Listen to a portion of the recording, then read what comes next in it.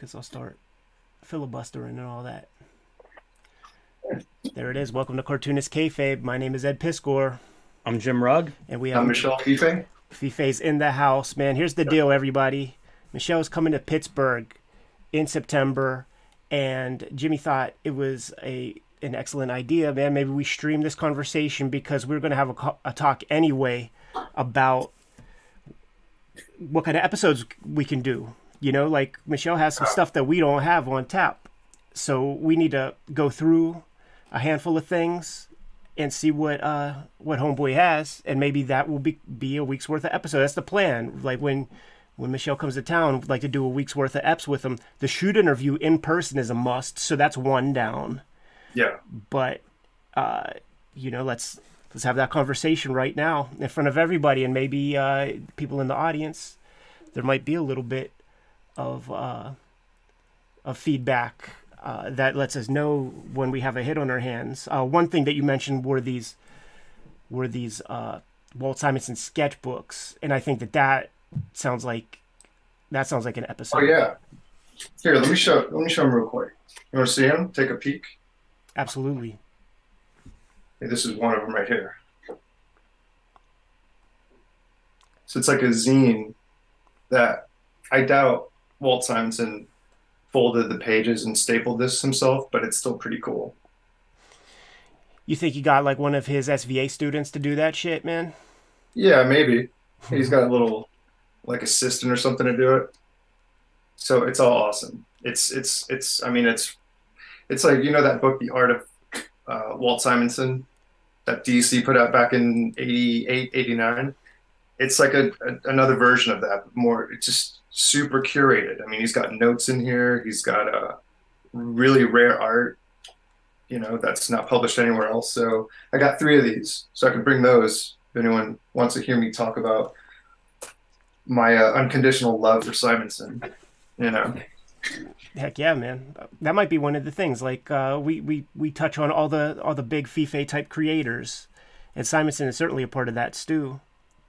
I know this. Uh, me going to Pittsburgh has been kind of cooking for a while, but really was cemented at Heroes when I was talking to Jim about driving super long time to go bin dive. and he's like, why don't you just drive to Pittsburgh? It's less time, more fun, more bins. And I'm like, that's a no brainer. I mean, yeah, of course. That's my next big trip. So that's how this all started. Yeah, it's less insulting, man, because you like drove drive by us to go dumpster diving. Uh, for, no, for- the for other no, what no, that big trip was to Hamlin's. Right, but you're going down. You know, like uh, I- No, I didn't pass you. I didn't pass you at all. I'm just fucking with you. We're just having fun here, Michel. No room for fun. No room for fun. So, that. so, so we were talking the past the the past couple of I just days. don't want to offend you. That's all. No, I know, of course. we were talking the past couple of days, and and and you were pulling some books. So let's talk comics, man. I is that's that's that's uh, Simonson down. all right, hold on. Well, I also got a bunch of this stuff too. Busted out. Old kid art.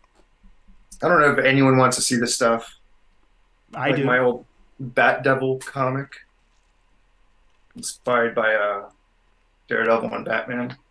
You know, so it's like just a bunch of stuff. I could pick out like the best of the best of the stuff, like the most readable or the most fun and ridiculous of the bunch. You know, or we could go through all like 300 sheets of little kid pages. I, I feel like that's the move, man. Like like I, I remember one of our earliest show and tells was something like you know a thousand crappy pages or something, and I, and I showed you know all of my kid work uh, because of that old uh, McFarlane type maxim. You know, you got to have your thousand bad pages before you turn pro.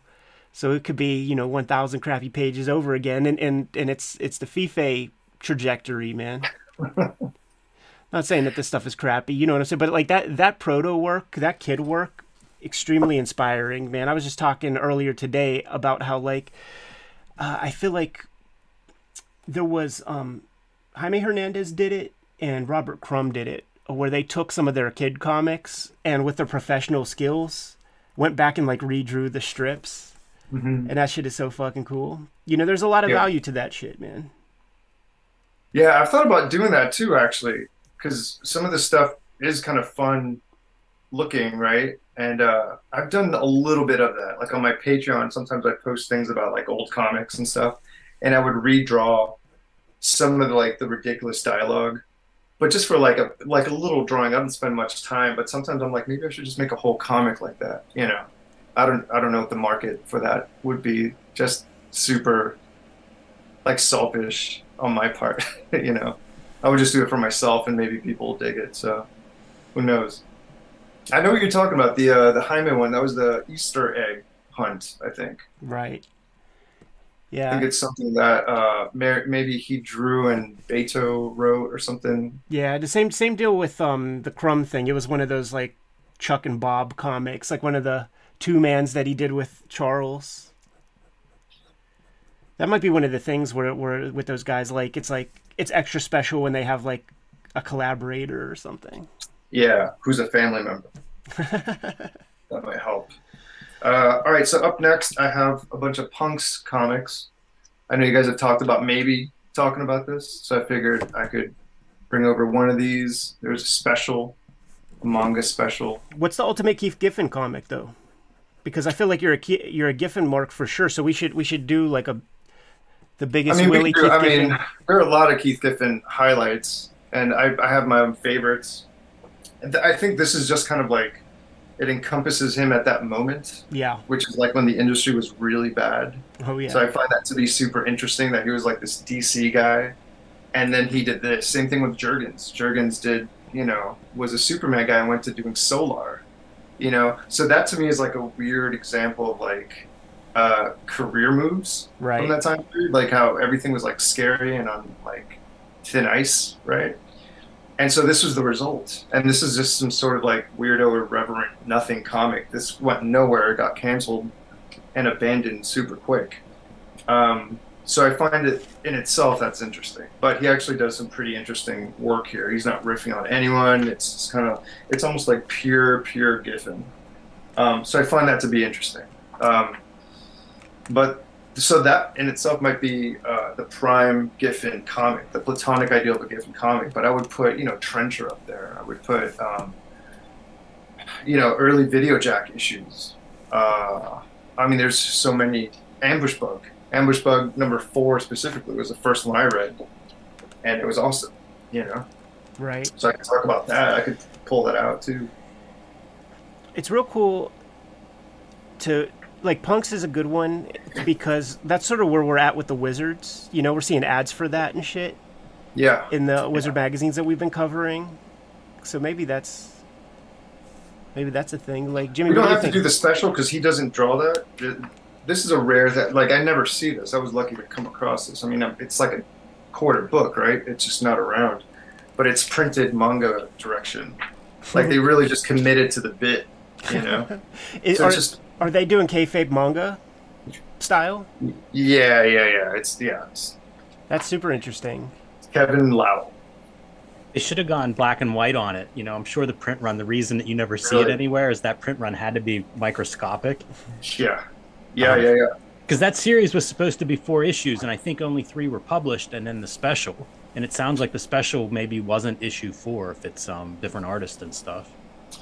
Yeah, they had. Uh, I think he did the cover to four, and it, yeah, it was just never released. It was one of those things where the whole line just went bad, or they they started chopping heads.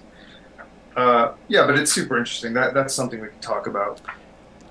I could go on. jimmy what do you think P- punx man like like uh, bring that plus absolutely bring that manga one Yeah, for sure. I have the first two issues of Punx, and I find it to be a really interesting series. It's kind of on my list for if I ever find, you know, issue three or that manga special. So I would like to take a look at that. That sounds good. It just. I gotta say, it's it's it's funny because it's like uh, it's like almost like improv comics. Like, because he really was letting loose, you know, almost like more than Trencher in a way, because he just did not give a fuck about this. He does not, and in his not giving a fuck about it, it it's just super interesting. I think it's just a, a, a an interesting blip in his vast career. he's really issue two is is uh, like I said, it's one that I have and I've looked at, and it's it's fascinating. It breaks I don't know. I guess fourth wall it breaks a lot of comic conventions, Mhm. and it just does some formal stuff that I can't think of too many comics that go there. And especially for like a Marvel, DC, you know, mainstream superhero type cartoonist, it's uh, it's pretty out there. Yeah, yeah, and it's super reverent, like more so than his ambush bug stuff, because he just straight up makes fun of everybody, like the, the publisher, his editor, his collaborator. it's it's just and it's it's like no one does that, right? I mean, he's known for doing that, but he really ramps it up in this one again because he has nothing to lose. Yeah, he's Like, funny. You could The industry's in a in a like it's going down. Everything's burning. He's just fucking going for it. Yeah, thinking about that period of time, I mean, he's he's like, uh, what do you call it, man? He's like, Al- like Alan Moore and Keith Giffen are the dudes who are fucking around and messing with these other publishers. hmm You know what I mean? Yeah, he did tons of stuff for Image during this time. He did a Topps thing that fell through. Uh, tons of stuff. And what's interesting to me about this stuff too is that to me, he's sort of like an example of like uh, having a career bedrock, right? Like he's just a DC guy, right? He's fucked around with Marvel in the beginning. That's how he got his break, and then he went to Marvel around this time. But the fact that he went to Valiant and did this, that's it's to me that's really odd and compelling in a career lens, right? Where he just he didn't have the home anymore. So what does he what does he do? You know, he does this. You know, so that right there is like, all right, what do you do with that freedom? That's sort of like a little bitter, a little scared, but also kind of fearless in a weird way. I, it's an odd thing. It's I, these comics should not exist. There's no reason for them to exist. I'm sold. That's a that's a great hook. I'm sold, man. Put put them in your bag. Bring them along. yeah. All right. All right, man. So we got uh, Fiffe shoot interview, Simonson sketchbooks. We got punx. That that covers Keith Giffen. Uh, All right. we haven't done much Breyfogle, Batman, or anything like that. Is there any of I that? mean, that, this guy? Yeah, You mean that dude? that dude, man. What number is This that? guy's bagged. This guy's a, a, a bagged and boarded because it's very special to me. It's the one I had as a kid, so it's like nearly falling apart. I'll bring this copy because I, I remember drawing in it too. I don't know, um, but I this is one of my favorite issues ever. What number is that? Run. He fights the uh, the serial killer. Not not the one of the many. Stark. His name is. I'll, I'll open it in Pittsburgh. How about that? Yeah. what number is that, dude? Uh, 593. Uh, okay. Feels very thin because uh, I used to rip out the ads of DC Comics back in the day. To, to so that you didn't break up the storytelling flow. I just there were yeah there were interruptions, and uh, but I liked the ads so much. I remember collecting a stack of ads so I could still look through them. I didn't throw them away. Was, it's such a weird habit. Such a weird habit.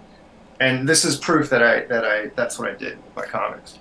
Um, Marvel, you couldn't do that because they would print ads and comics on the same page. Right. So I couldn't really do that. So all my Daredevils are like intact. Near. Um, another old comic I bought back in the day was this, which is the first Justice League that Giffen plotted. You know, he's infamous for this thing. I don't know if this is a little too over uh, discussed in the world. Uh, it just happens to be the one I bought back in the day for a lot of money when I was a kid. For it was a lot of money even by today's standards. But even though you could find this in a bin easily these days.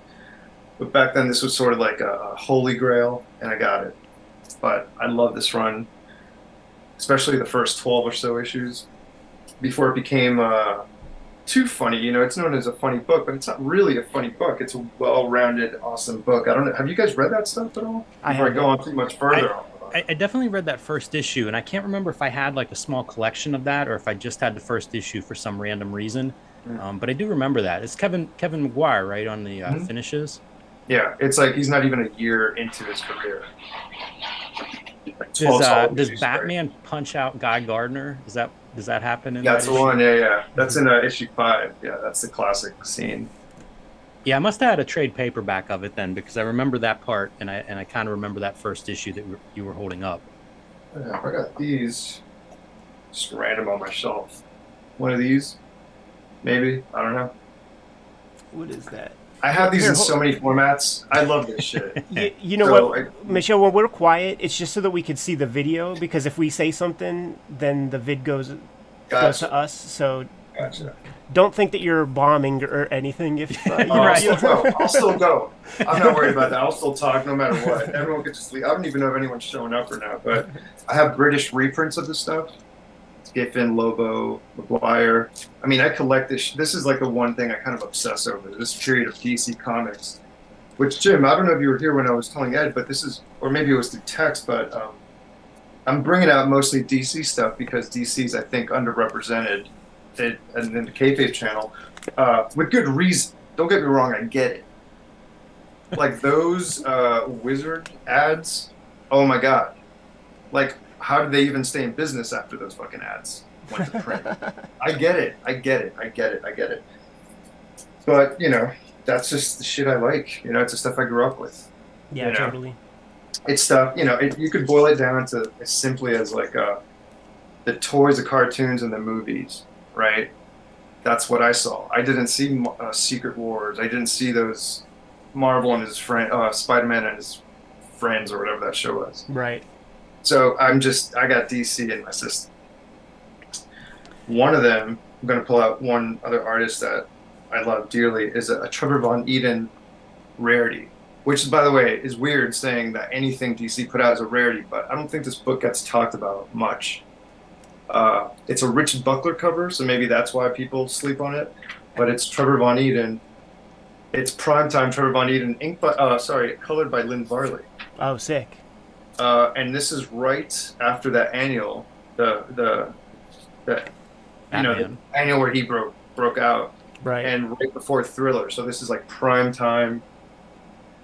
Trevor Von Eeden, like he's going off. Yeah, I'd be stoked to see Look- some more of his, his Batman type work, man. The, the, the very first issue of Batman I, that I picked up as a kid was freaking uh, 401 or whatever, the mag one with Magpie on the cover, Yeah, John same. Byrne, Yeah, yeah, and and that stuff blew my mind, dude. Because like it loo- it looked like Golden Age comics in a way, you know, like kind of that heavy, uh, dull line.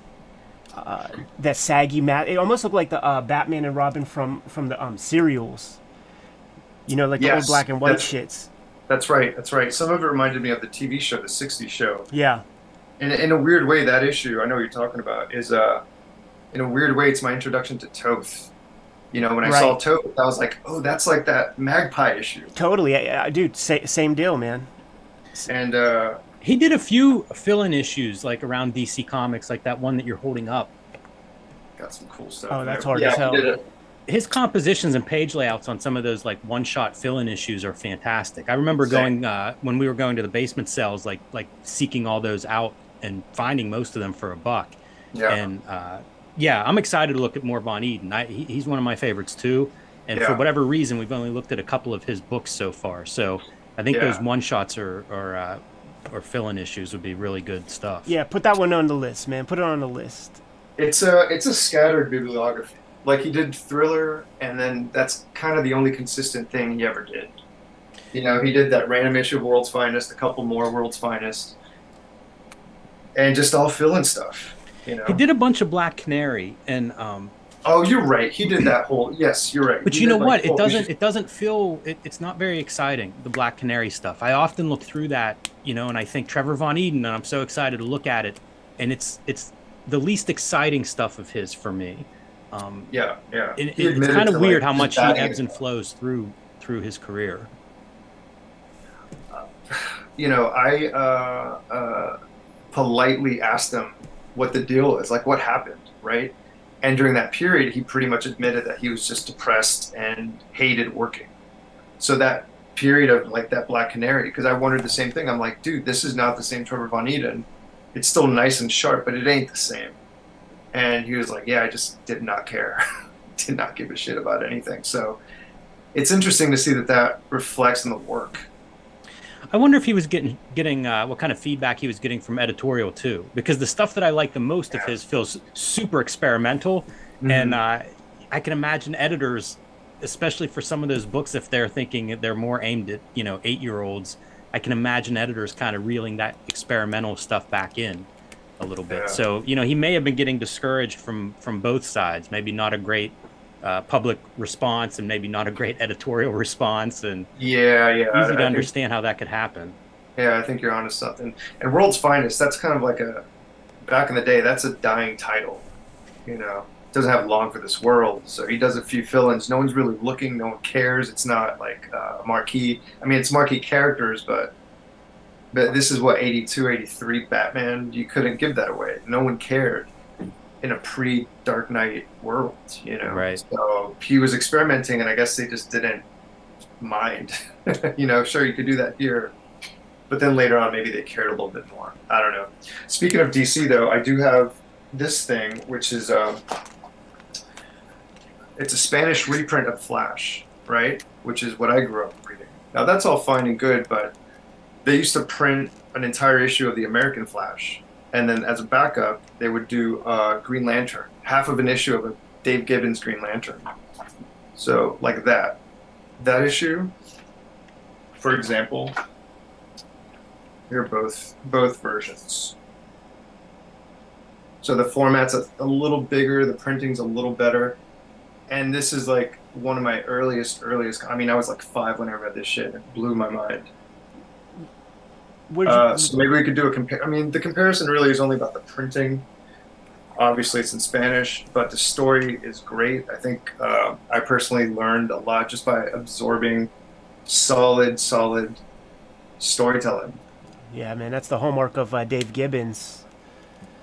It's it's it's great. I mean, it really freaked. The story freaked me out. It, it's really compelling stuff. And then the first half is like weird '80s Carmine Infantino Flash, right? So this this whole package is just like a weird. I mean, I like foreign editions, but this is like what I grew grew up with, pretty much. I was a little ass kid reading this stuff Where, where was that published? in Spain.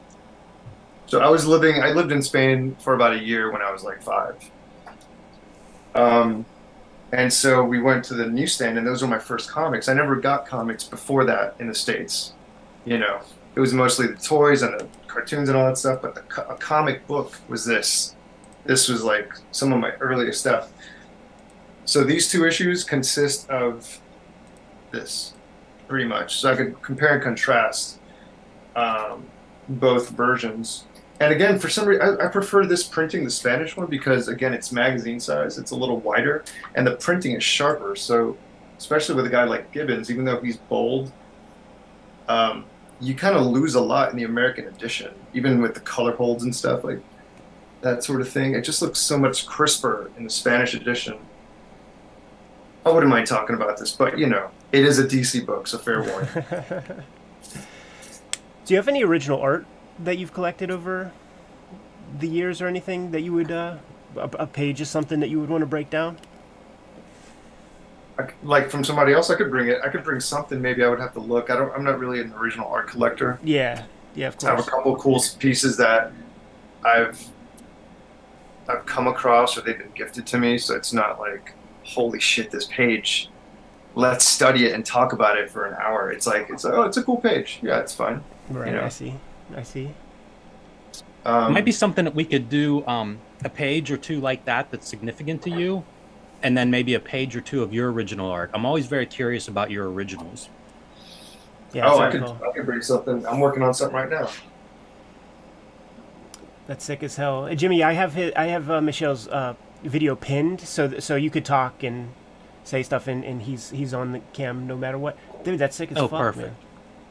Yeah, I just have to erase this a little bit, fill it out some, and then finish it. I'm trying to keep a schedule for myself now. Are you using gray graphite and, or blue blue pencil uh, for the underdrawing? No, not for this one. If I'm because I got to color this, I'm coloring the original on this one. Yeah. But for so I don't want to mess with it. You know, if I do it with blue, it's just gonna stay there. Right. way I shoot it, the way I'm gonna scan it. But I've been messing around with blue line because it's so much comfortable for me to draw with a blue line pencil, which is like new to me. I had never used it because of Jaime fucking Hernandez saying that blue line is for chicken shits, and I took that to heart. yeah. And I'm like drawing with this. Usually, I draw with like this cheap lead pencil, like a nothing, like I don't even know where I got this, like CVS or something, Right. ten years ago or something. And it's just it smudges. It's not great. It's just not fun to draw. I like I, I have fun inking it, but when it comes to drawing and you know refiguring stuff, it just gets smudgy and weird. The blue line takes care of it all. But because I color my originals, I have to pick and choose what scenes I draw in that manner. So it's it's a mess. It's all over the place. It's not really a mess. It's just a the page on my table right now has no blue line, but it's something I discovered recently. That's super cool that you color, color the actual originals, man. I wanted uh, on the next stuff I do after Red Room, I, I want to do practical color, but I don't think I'm gonna have the balls to, to color the OGs. I'm gonna have to scan it and print up a print up some some line art to give it a go because I want to play with markers and color oh, pencils oh yeah, and stuff. yeah, yeah. But I just have no confidence in just hit, hitting the actual inked pages.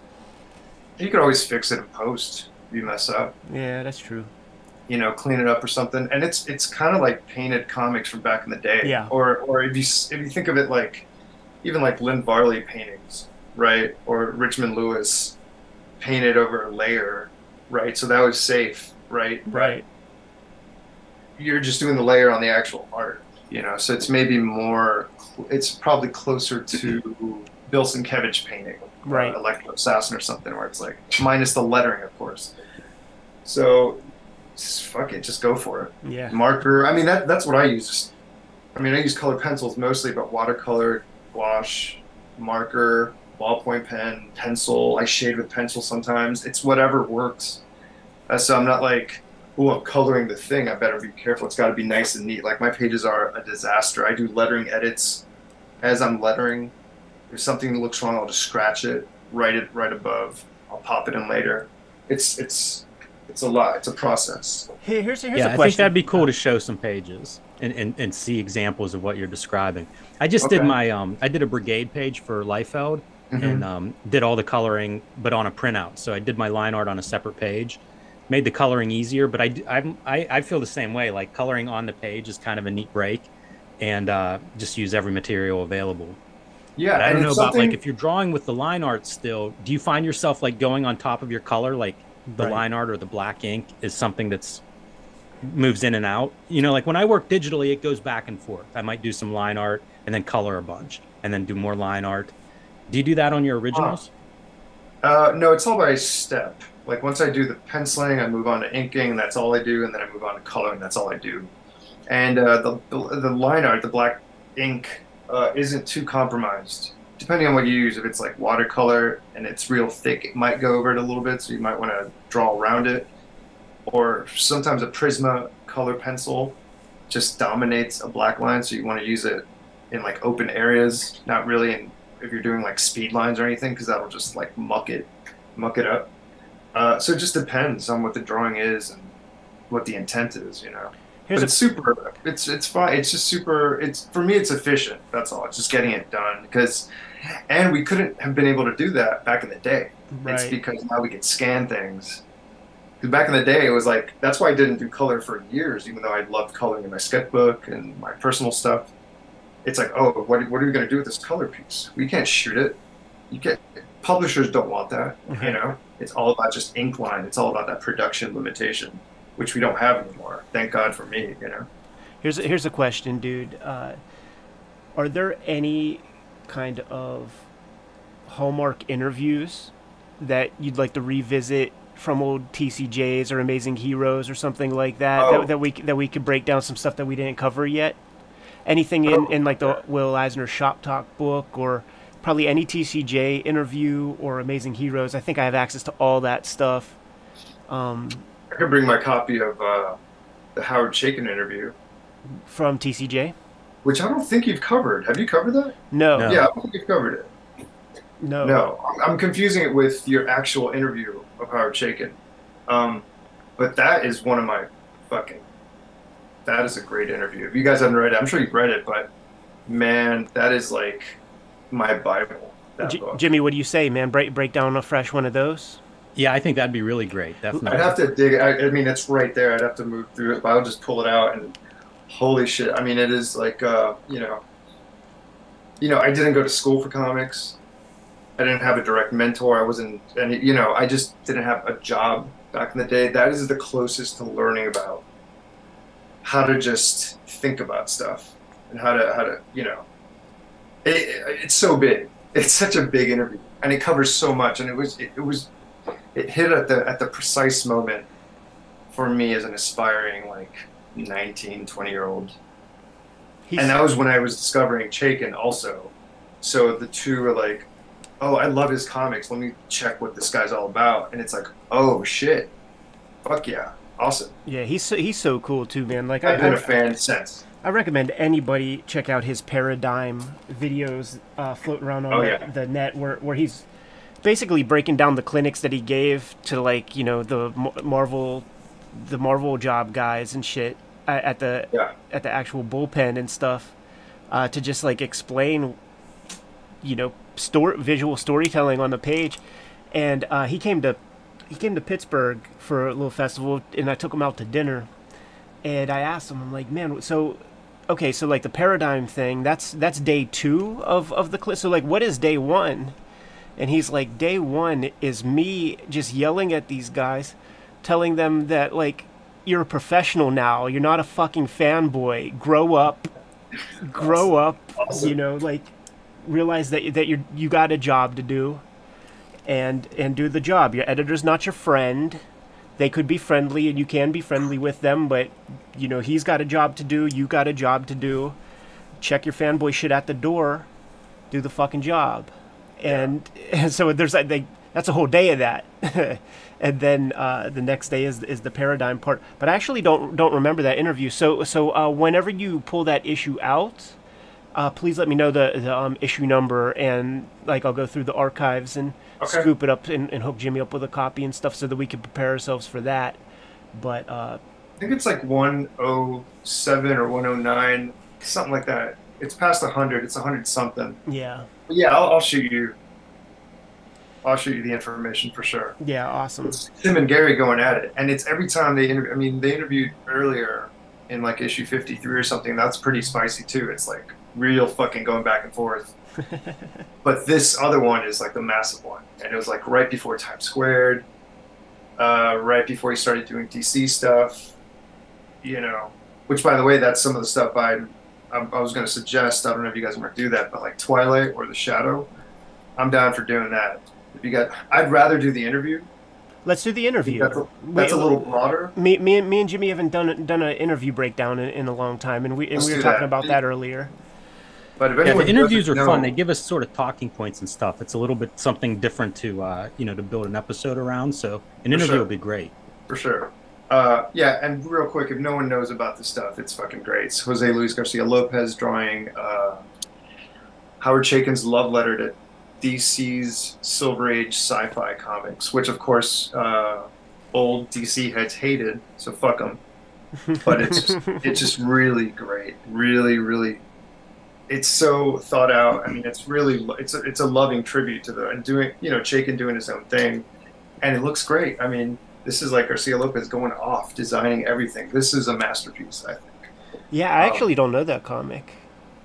It, it, I mean, it came and went, and I just I had issue three years after the fact. Couldn't find the first two, and and it didn't matter. I was in love with it, and eventually read it all. Read it all, and it lived up to the hype. I mean, every any page I could just open up to. I mean, it's just masterful drawing, cartooning, lettering. I mean, Is that- everything. Is that Steve package. Oliff color?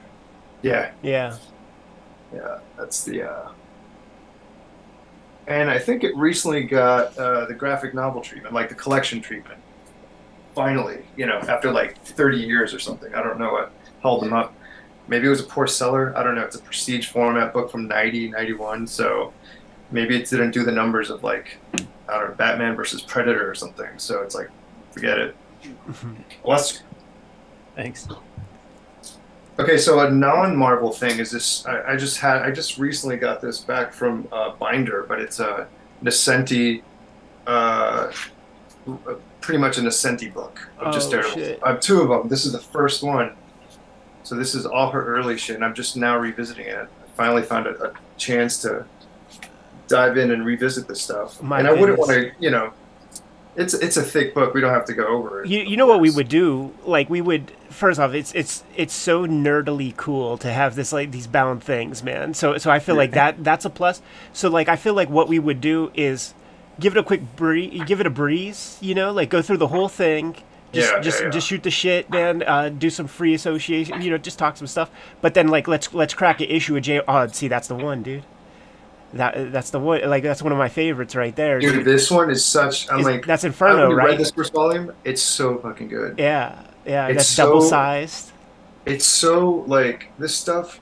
You know, you know, nostalgia is weird because sometimes you love stuff that's actually kind of crummy, and that that that's what I discovered with Suicide Squad. It's not, it's actually not. It's pretty sophisticated, elegant stuff that's really raw and powerful, and it's and it was a good comic. Yeah, I read this when I was like eight or nine. You know, so it's like this stuff is my shit, extremely so. We just did I know that you guys issue. this one recently. Yeah, yeah, but I, I, mean, didn't have this forever, man. This was a, a wall book forever. What- is and that I true? Did not have this for a while. there's that little That bit. run really is exceptional, and I feel like anybody that works on Daredevil is cursed with the Frank Miller shadow looming over them. Yeah. That, that you're always going to be, you know, separate from that. But but that's a hell of a run, the Innocenti Romita Jr. run.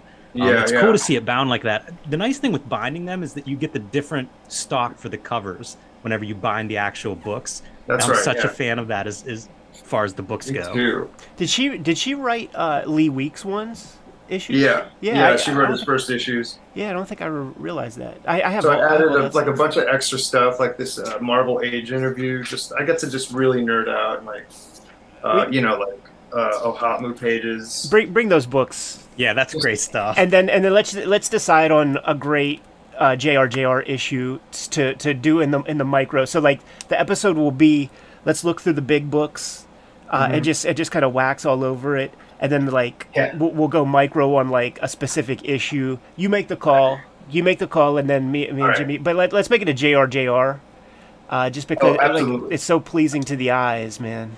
It's so funny when you when you get to his first issue, like Leonardi drew the a couple before, Yeah. and those are good too. Those are excellent.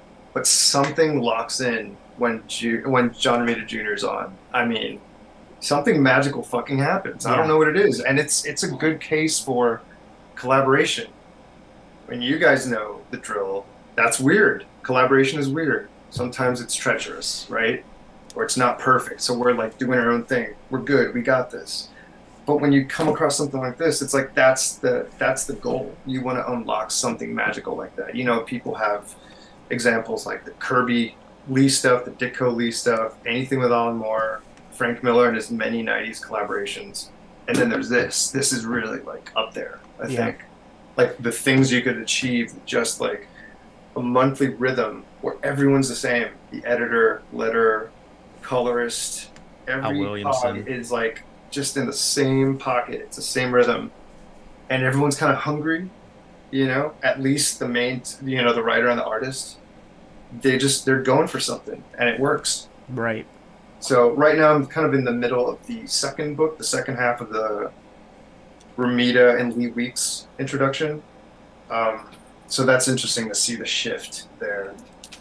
Um, The, the Meph- only other thing. I have left is something similar, which is another bound book, but it's Suicide Squad. and it's um, I know you guys, Ed, you might have mentioned like maybe talking about Suicide Squad Yeah. Heroes Con or something. Yeah, of course.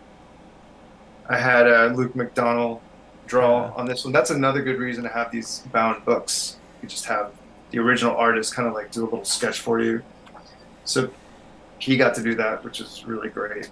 This is super nerdy. This one because you know it's not just Suicide Squad comics. It's like Firestorm issues that like uh, kind of go into the story Legends by John Byrne and the, the rest of the crew. I mean, it's really geeky shit, but this is like it. This So- is it. So Yeah. let me ask you the question. Let me ask you the question. Uh, so say we say we do Suicide Squad. Like, what's the move? Is is it do we do issue one or is there a storyline that blows your mind? Yeah, yeah, yeah. It's either this issue right here, And what issue is that? number 10, Okay. up, up against the wall. It's just Batman infiltrating uh, the Suicide Squad. Simple concept. It's an excellent comic. Or uh, Death Zone. which is issue 16, which is part three of a, of a, of a small little arc. You know what, You know, man? quickly We go through it, but we- it's we- fun. It is great. we might It's have to do Death Zone and just maybe you give a give a glance to the audience at the real Death Zone. You know Oh what I'm yeah, saying? Like you, th- you think that's possible? Just a glance. It's up, it's up, it's up to the fans. If the fans want that, I might bring it along. The know. double Death Zone episode. Oh man, That'd be sick as fuck, man. let's do it. See, look at this. I added every Who's Who profile of every squad member. You So know, it's we just- should hire you to put together collections for them. I, I, I love these extra features you've got in the back of these books. yeah, it's so good. It's just fun, and it's the way I want to read this stuff, right?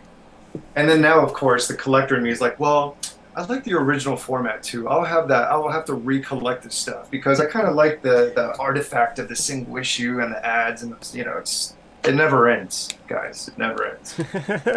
Like, It's like I remember you.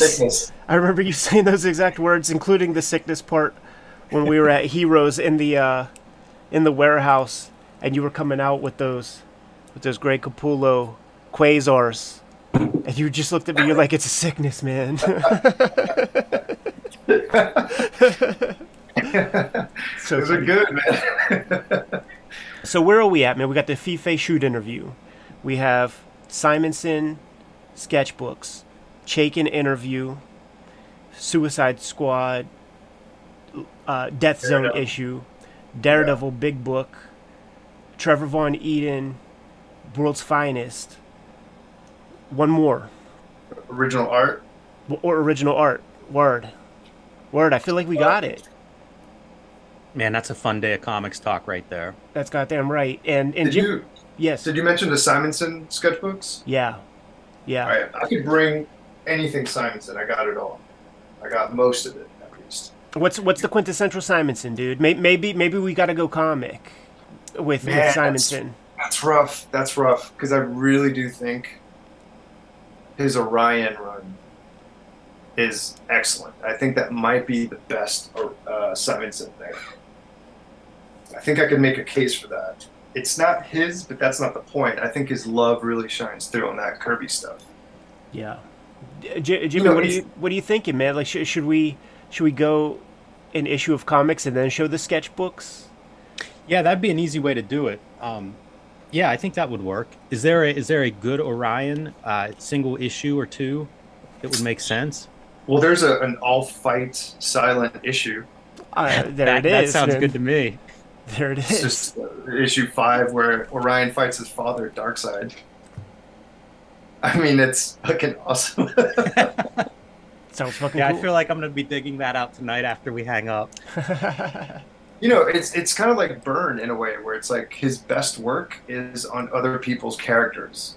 As good as Next Men is, and Danger Unlimited and all that stuff, and that stuff is good. You know, he's putting the work in, he's thinking about it, but something about his Fantastic Four, you could tell he loves that shit. yeah, and he admits that. Like, he, Yeah. he talks about like you know like Next Men's a trifle. Even even shit like Alpha Flight, he was like, you know, it didn't it didn't it didn't feel like a real comic. It's uh, Right. because Stan and Jack didn't create it. Like like you know that's the shit that like if Chaykin gave him that clinic, he'd get, he'd grab him ru- around the collar and slap him a little bit and say, "Listen, you're a professional now. Check that check that fanboy shit out the door." Oh my! There's a great Chaykin quote talking about John Byrne, but he never name checks him. I think he, I think Chaykin was like, I can't believe that the premier artist of our generation is uh, a second-rate Canadian hack with a like barely a grasp on anatomy. and I thought he was talking about Todd for a second, but the time doesn't line up. The timeline doesn't add up. He was talking about is Right. like, holy shit! Amazing. He just nailed it. Yeah, Chaykin will do that, dude. Like at that same dinner, man. Like he was saying some stuff that was making me blush. He's funny, dude. Guys, Man, that was awesome. You guys had dinner. Holy shit, that must have been something. Yeah, yeah, it was it was awesome, and and then uh, they, they were just randomly the the restaurant was playing some like old classic jazzy type shit that he dug, man. And he's like, "Oh, you gotta listen to this part, listen to this part," and I was like, "Yo, Uncle Howard, man, we set this whole thing up. They just didn't put up the uh, the framed Collier's magazines like I wanted them to. Man, like we, we got here a little too early. Where was this in, Pittsburgh? Yeah, it was, in, Pitt- it was in Pittsburgh. Are you going to be at Baltimore? Wait, what's that? Fiffe, are you going to be at Baltimore uh, Comic Con? No, I can't. I'm not gonna be able to go to Baltimore. I miss Baltimore. It's been a while since I've been. Yeah, good good fest because cause, like we're planning on uh, gra- grabbing some grub with uh, with Howard then too. Make make your ass Yeah. come if, if you were there.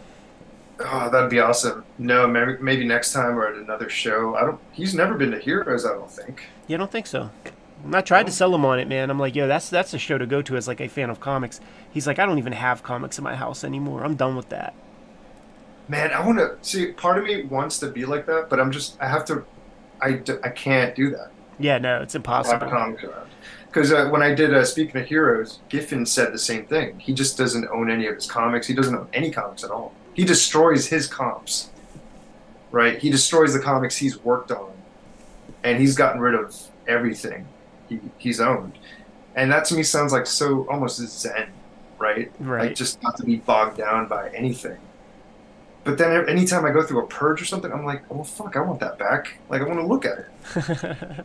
You know, like I don't want to get rid of this fucking book, right? You know, like Fuck yeah, man. a lot of work went into like, you know, and, and just consideration went into this, and I actually do want to reread it. It's not just a, an item I consumed and I just put it on the shelf for some porn, you know, some shelf porn. It's like a thing, an item I love. So I'm always sort of like struggling between, you know, trying not to be consumed by the hobby, but also like loving it or loving the parts I already love and just doubling down on that, you know. Not not seeing it in a negative way, but just kind of just embracing it, you know, just trying to stay positive. So I don't know, Howard. I don't know what to tell you. Just just just wait till you step foot in the studio, dude. Just wait wait till you see what what the hell's going on over here, man.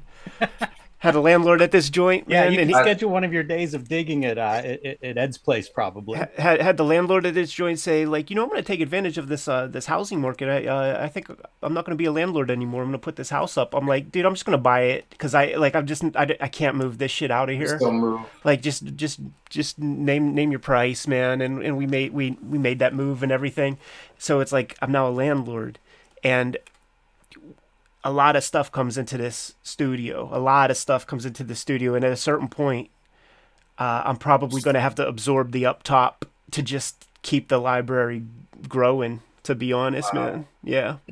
Because it's get it's getting out of hand. You'll have to move upstairs, Ed, and keep the library downstairs for weight issues, like Yeah. structural structural security. I go downstairs and I t- to the basement. I do take a look at that main beam a little bit sometimes. Man, I visit it. I make sure that that uh, you know it's still. You know, I knock on it, make sure it's still holding things up.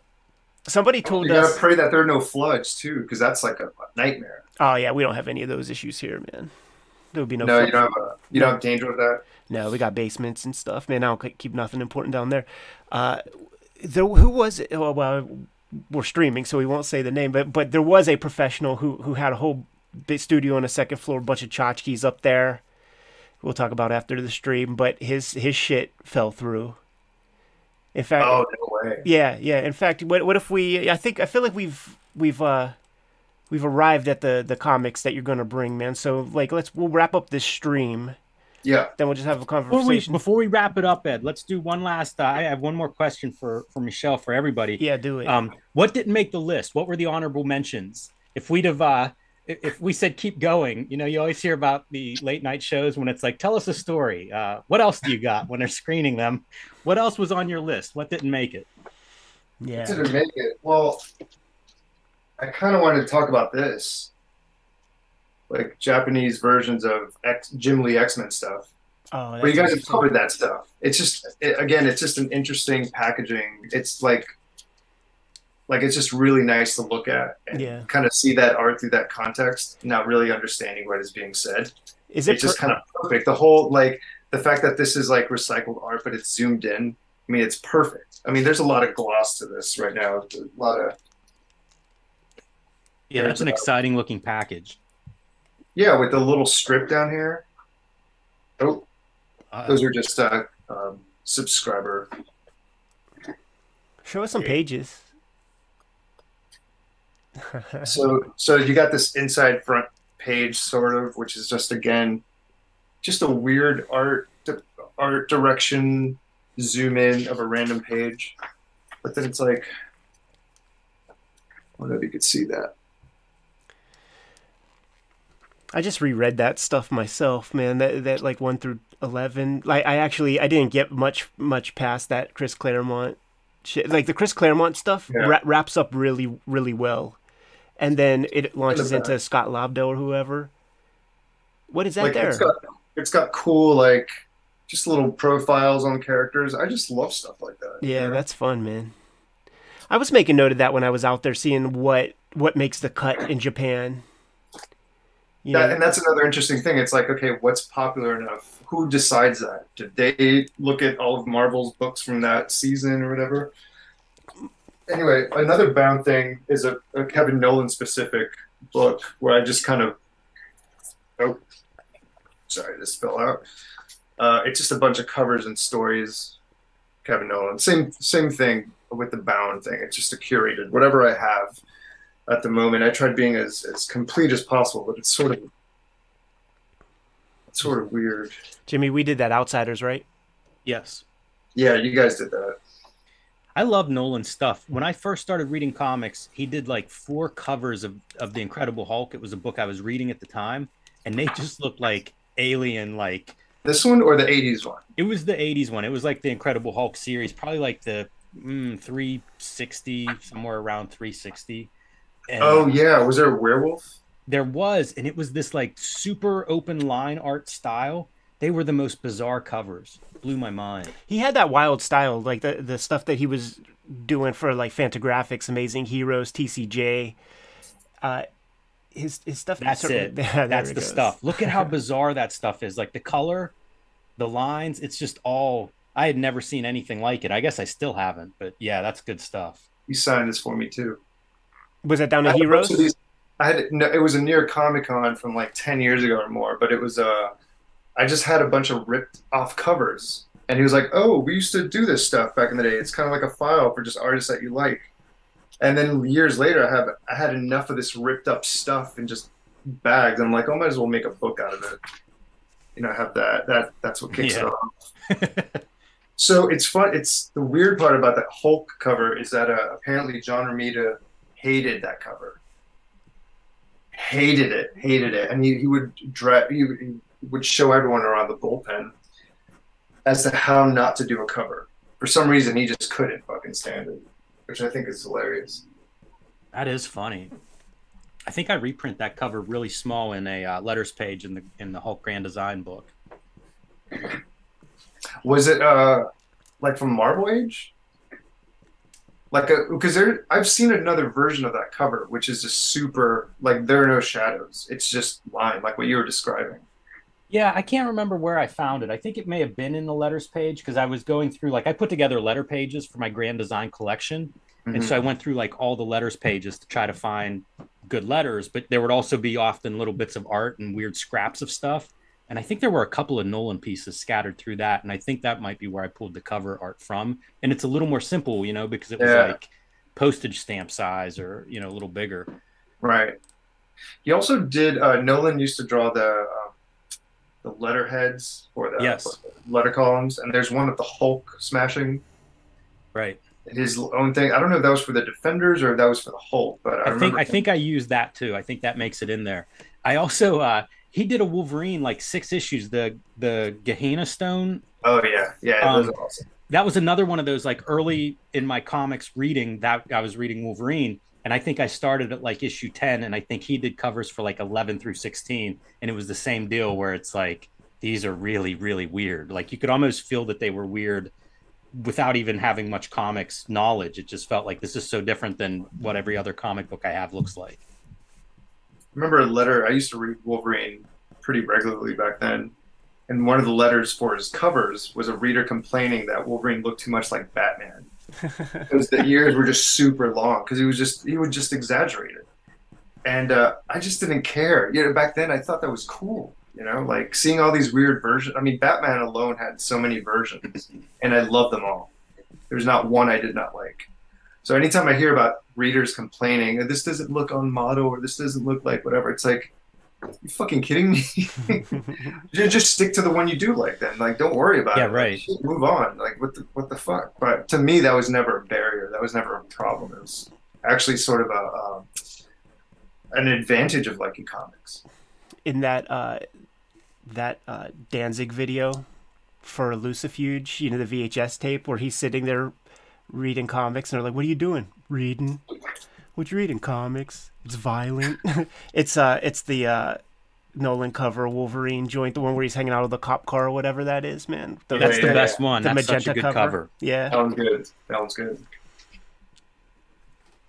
Yeah, super cool, man. So like uh we'll we'll we'll wrap up the stream and then uh we'll debrief a little bit, man, and then uh, get the show on the road, dude. Everybody can look forward to seeing Fiffe in the studio doing vids with us, man, doing a week's worth of episodes because you got a big ass book that needs promoting, man. That collected Copra, that is a heck of an achievement, my man. Yeah. Yeah, that's coming out in November. Yeah, that's right. So Yeah. it'll be right around that time, you know, just in time for Black Friday. What what is what does that collect, man? Let the, people know. Master Collection, it, it's the first 12 issues of Copra under one oversized hardcover book. There it And I put a, a bunch of extras in there, like unseen art, uh, process stuff. Uh, I tried making it as different from the rounds as possible. You know, the rounds have their own identity, and I wanted this thing to just be like a different, cool looking item uh, for like old fans and new readers, and you know, just something super accessible and cool. Plus, it's cool to have the first arc in one place. You know, and hardcover. I haven't had a hard. Well, there's like a French edition that was hardcover, but here in the states, I've never had that treatment really. So that's going to be a cool, different thing for me. I'm looking forward to it. Yeah. It's super awesome, and you've kind of proven your uh, your book, your, the thoughtfulness behind your book design. So that's exciting. That's right. I would take that job in a heartbeat, though. Dude, I cannot wait to kick it with you, man. After all the COVID stuff that we were all dealing with, man, I, I just missed you in general. Just it was so good to see you at Heroes Con. But of Yeah. course, like we're all on uh, doing doing, you know, the dog and pony show when we're down there. Didn't have enough time to to actually kick it and chat and all that. So I cannot wait for you to come to the Burgh. Can't wait to to go Okay. dig in. We'll go get some No dinner at the right spots. Do do everything. oh yeah, all of it. I can't wait. Yeah, I want to go to whatever bin places you guys got, or you, whatever place you recommend. I'm down for Yeah, all of it, man. all, All of them. it. Fuck. yeah.